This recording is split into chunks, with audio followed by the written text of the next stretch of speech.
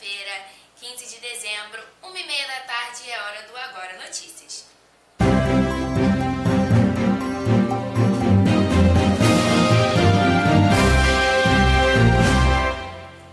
Uma tentativa de assalto a um quiosque de celulares no Shopping Bay Market em Niterói causou pânico na noite de ontem. A arma do bandido caiu no chão e fez um disparo. O som do tiro assustou quem passava pelo local e muita gente saiu correndo para o terminal rodoviário. A repórter Tuane Dossares esteve no terminal hoje de manhã para conferir como estava o clima por lá. Quem vê o terminal de Niterói movimentado desse jeito, nem imagina que ontem aconteceu aqui uma grande correria por causa de um assalto que aconteceu no quiosque de celulares da loja CIA, no Bay Market, que fica aqui ao lado. Houve um grande tumulto, diversas pessoas saíram correndo pelo terminal assustadas por causa do assalto, mas ninguém ficou ferido. A administração do terminal esclarece que a confusão não foi aqui, aqui apenas aconteceu o susto e hoje o funcionamento de todas as lojas já está normalizado. Tuane Dossares para o Agora Notícias.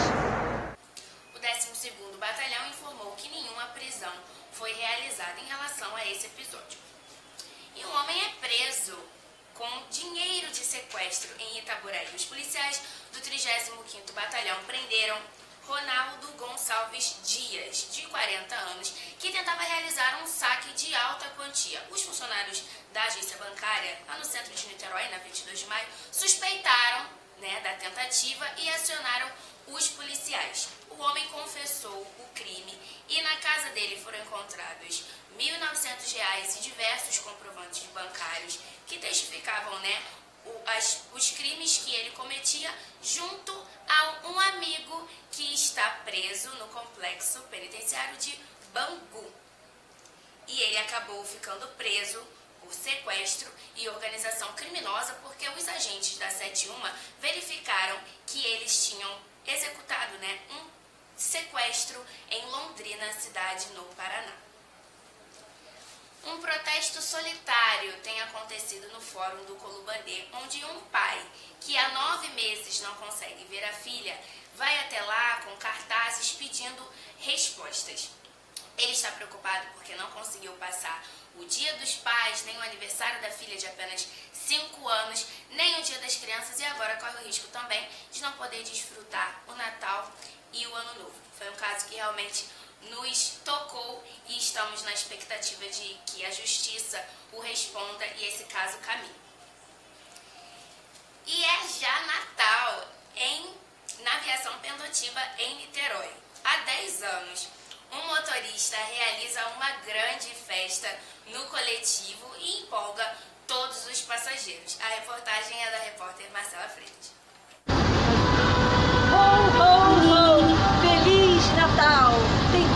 Legal do que o espírito natalino, a aviação Pendotiba há 10 anos resolveu fazer a alegria dos passageiros.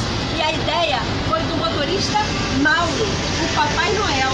Conta pra gente, Mauro, como começou esse projeto? Eu já fazia Papai Noel em comunidade e resolvi a fazer no ônibus, né? Uma vez que as pessoas estavam perdendo esse espírito natalino. Então nós conseguimos resgatar e sempre essa época, junto com a diretoria, transportar, trazer felicidade para as pessoas. Então, sobe o som, Papai Noel!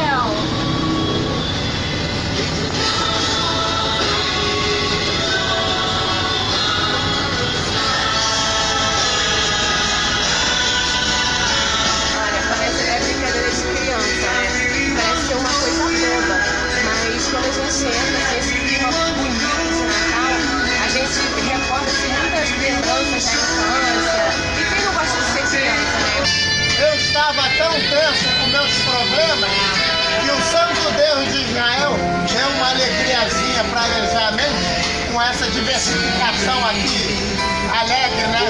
Fiquei muito surpreso. Natal que ser alegre, né? Então para o Natal. Então é isso, pessoal. Se você foi um bom menino, uma boa menina nesse ano, venha viajar Aviação Pedotiba ao ônibus 48 e faça seu pedido diretamente ao nosso Papai Noel.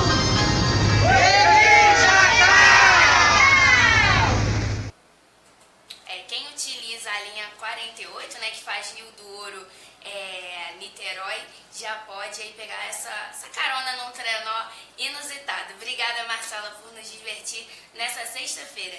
E é nesse clima nesse clima de celebração que nós trazemos as principais dicas para você curtir o seu final de semana, porque hoje é sexta-feira, não é mesmo?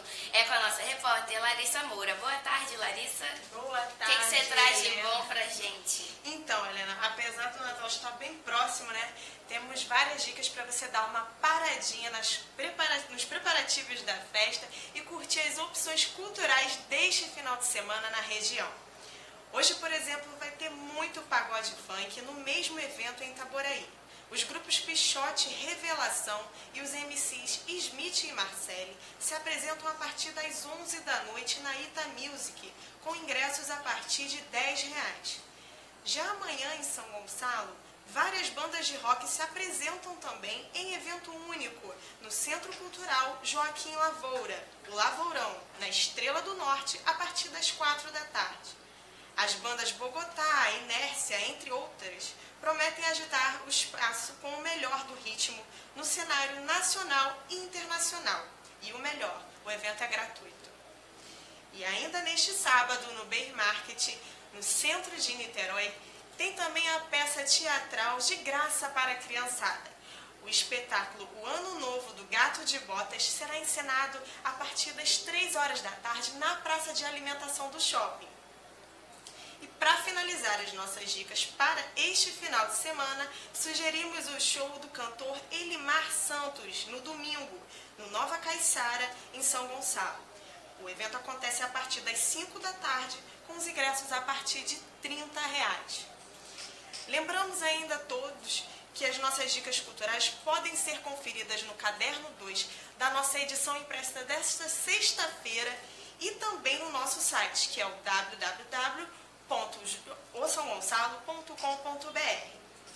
Por hoje é só e que tenhamos um bom final de semana e até a próxima.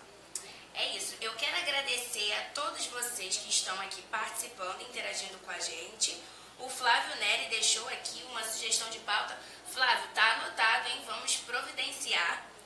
E é isso. O Agora Notícias fica por aqui. Eu espero vocês na próxima segunda-feira, aqui no Facebook do Jornal São Gonçalo, sempre às 1h30 da tarde.